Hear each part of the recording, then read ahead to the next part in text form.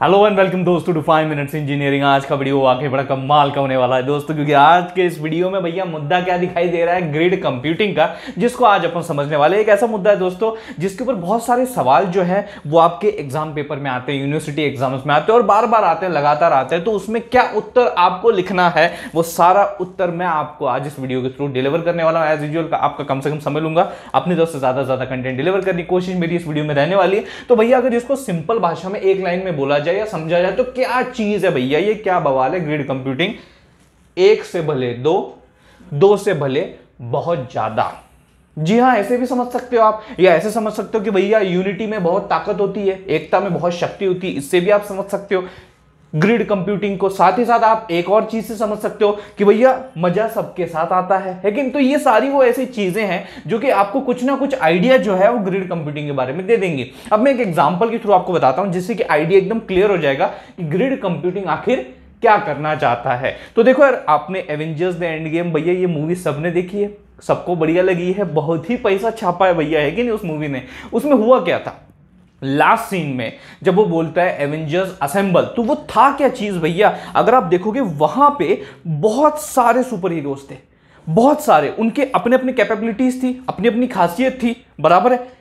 यहाँ पे हर एक सुपर हीरो को आप एक कंप्यूटर की तरह देख सकते हो, जो कि एक नेटवर्क में जुड़ा हुआ है, एक कंप्यूटर की तरह देख सकते हो, ठीक है? उसके पास अपनी खुद की कैपेबिलिटीज होंगी, अपने खुद के रिसोर्सेज होंगे, सही बात है कि नहीं? अब वो वहाँ उतरा है, उस नेटवर्क में जुड़ा है। अब ये सभी जुड़े हैं, सभी सुपर हीरो इकट्ठा हुए थे ना, किस लिए? एक कॉमन टास्क को अकम्प्लिश करने के लिए। कौन सा टास्क था कि थेनोस चीट चाहिए मतलब जो कवि है वो इस वाक्य से क्या कहना चाहते हैं कि भैया थेनोस की चुटकी बजानी है। ये एक कॉमन उद्देश्य था सबका कि भाई इसकी तो आज चुटकी बजाएँगे अपन। सही बात है? और वो बजाई। तो वो टास्क उन्होंने अकम्प्लिश किया। कैसे? उन सबने अपने शक्तियों का भरपूर प्रदर्शन जो है वहाँ पे दिखाया किया। है कि नहीं? और यही चीज़ जो है यहाँ पे ग्रिड कंप्यूटिंग में कंप्यूटर्स करते हैं कि उनके जो भी रिसोर्सेज होते हैं, जो भी कैपेबिलिटीज है, उनका इस्तेमाल किया जाता है ताकि एक कॉमन गोल एक टास्क को अचीव किया जाए। तो सभी जितने भी आपके नेटवर्क में नोड्स होते हैं, उनको सब टास्क असाइन किए जाते हैं। वो उन सब टास्क को करते हैं कंप्लीट करते हैं और उनके सॉल्यूशंस को कंबाइन करके आपके मेन टास्क का या मेन ऑब्जेक्टिव गोल का जो सॉल्यूशन है, उसे प्राप्त किया जाता है। तो यही चीज़ जो है, यहाँ पे ग्रिड कंप्यूटिंग में परफॉर्म हो रही है। ज़्यादातर तौर पे आप जैसे देख सकते हो यार, कुछ ऐसे टास्क होंगे जो कि बहुत ही कंप्यूटेशनल एक्सपेंसिव टास्क है। मतलब बहुत ज़्यादा कंप्यूटेशन भैया इसमें रिक्वायर्ड है। जो कि अगर आप एक सिंगल कंप्यूटर के थ्रू अगर करने जाओगे तो बहुत मुश्किल होगा। बहुत ज़्यादा मुश्किल होगा।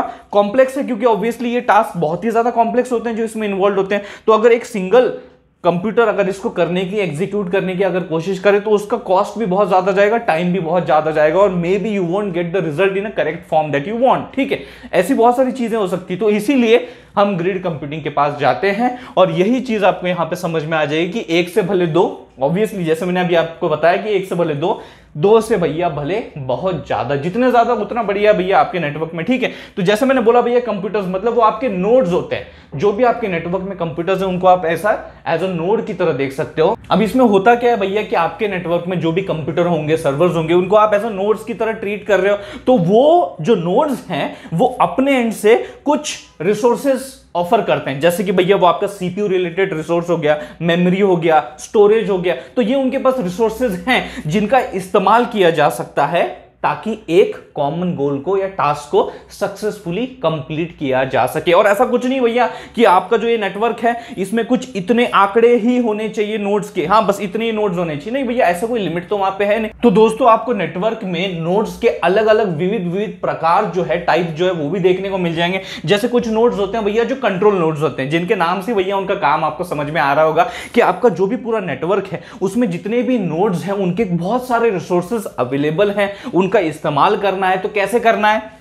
ये कंट्रोल किसके हाथ में है? आपके कंट्रोल नोड के हाथ में तो वो सब कुछ मैनेज करने की कोशिश कर रहा है। तो ये आपका एक सर्वर हो सकता है ग्रुप ऑफ़ सर्वर हो सकता है, एक कंप्यूटर हो सकता है, जो कि आपका एक कंट्रोल नोड बन रहा है। साथ ही साथ भैया प्रोवाइडर जैसा नाम वैसा ही काम। ऐसे नोड्स होते हैं जो कि प्रोवाइडर के रूप में आते हैं कि भैया हाँ मैं ऑफ़र कर रहा हूँ कि भैया, मेरे पास यही और यही रिसोर्सेज हैं, चलो आप इसको यूज़ कर सकते हो। ये मैं प्रोवाइड कर रहा हूँ तो इसीलिए ये नोड्स कौन से होते हैं? प्रोवाइडर नोड्स होते हैं। और कुछ नोड्स होते हैं जो कि यूज़र नोड्स होते हैं मतलब जो आपके क्लाइंट्स कस्टमर जो होते हैं। तो वो क्या कर रहे हैं? यूज़ कर रहे हैं उन रिसोर्सेज को। ऐसा भी एक पहलू होता है। और अगर आप देखोगे गौर से तो कुछ जो आपके सिस्टम्स होते हैं कंप्यूटर्स होते हैं, कुछ ऐसे नोड्स होते हैं, वो इसके बीच में जो है, वो स्विच भी करते रहते हैं कि कुछ एज अ यूज़र कभी बन जाते हैं नोट्स कुछ कभी प्रोवाइडर नोट्स बन जाते हैं। तो ये जो स्विच है नोट्स का in between provider and user ये भी आपको यहाँ पर देखने को मिल जाएगा। और सबसे इंपॉर्टेंट चीज़ भैया, बहुत ज़्यादा इंपॉर्टेंट मतलब एक सॉफ्टवेयर जिसे अपन मिडलवेयर बोलते हैं, जिसे अपन मिडलवेयर बोलते हैं, जो कि रन करता है ऑन द कंट्रोल नोड जो कहाँ रन करता है? ऑन द कंट्रोल नोड वो क्या कर रहा है भैया? एडमिनिस्टर करने की कोशिश कर रहा है। एडमिनिस्ट्रेटिंग का जो काम है आपके ऑल ओवर द नेटवर्क का, वो किसने संभाल रखा भैया? मिडलवेयर ने। साथ ही साथ देखिए, बहुत सारे सिस्टम्स है, बहुत सारे नोड है तो ऐसा नहीं होना चाहिए कि भैया जो भी काम आ रहा है, वो किसी एक स्पेसिफिक नोड के ही पास जा रहा है। मतलब वो ओवरलोड हो गया वर्क से। तो ये नहीं होना चाहिए। दिस शुड नॉट हैपन क्योंकि इसकी वजह से इफिशियंसी पे फ़र्क पड़ेगा आपके ओवरऑल नेटवर्क के। तो ये चीज़ कतई नहीं चाहिए कि भैया सारा काम एक को ही दिए जा रहा है और बाकी सब आराम से ऐश कर रहे हैं। ऐसा तो नहीं है ना। है कि नहीं? अपना जो भैया एवेंजर्स एंड गेम है, अगर सारा का सारा लोड भैया कैप्टन अमेरिका पे आ जाता तो थेनोस की चुटकी नहीं बजा पाते अपन। ये सबका कलेक्टिव एफर्ट था कि जिस वजह से चुटकी बजा पाए अपन थेनोस की। तो यही चीज़ जो है अपने को यहाँ पे भी समझनी है कि किसी एक पर्टिकुलर नोड पे ज़्यादा ओवरलोड नहीं होना चाहिए। साथ ही साथ देखो भैया सिक्योरिटी का भी यहाँ पे जो प्रबंध है वो मिडलवेयर की तरफ़ से किया जाता है कि देखो यार सिंपल सी बात है। आ, कोई भी आपके नेटवर्क में वहाँ पर जुड़ अगर सकता है तो वहाँ पर एक गलत माइंडसेट वाले बंदा या बंदी जो कि आपके उस रिस्पेक्टिव नेटवर्क को करप्ट करने के लिए आया होगा, उसके डेटा को करप्ट करने आया होगा, उसके डेटा थेफ्ट करने के लिए आया होगा, कुछ भी ऐसा क्रूअल इंटेंशन के साथ अगर वो आपके नेटवर्क के साथ जुड़ा होगा तो भैया वो कोई भी प्रोसेस रन कर सकता है, कोई भी सॉफ्टवेयर वहाँ पर रन कर सकता है। अगर वो कर सकता है तो फिर ये खतरा है।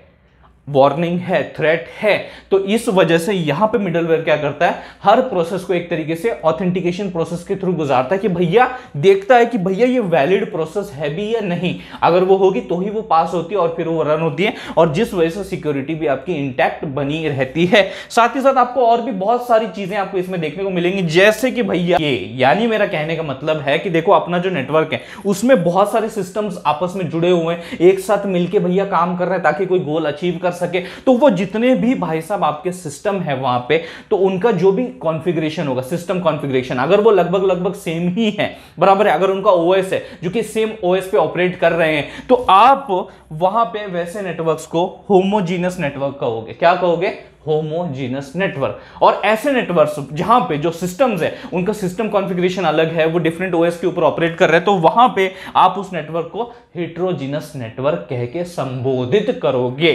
तो आई होप दोस्तों इस वीडियो के ज़रिए भैया ग्रिड कंप्यूटिंग क्या बवाल है आपको समझ में आ गया होगा। अगर समझ में आ गया होगा तो इस वीडियो को लाइक कर दीजिए, उससे भी ज़्यादा ज़रूर इस वीडियो को शेयर कीजिए अपने सारे दोस्तों के साथ। थैंक्स अलॉट दोस्तों फॉर वॉचिंग दिस वीडियो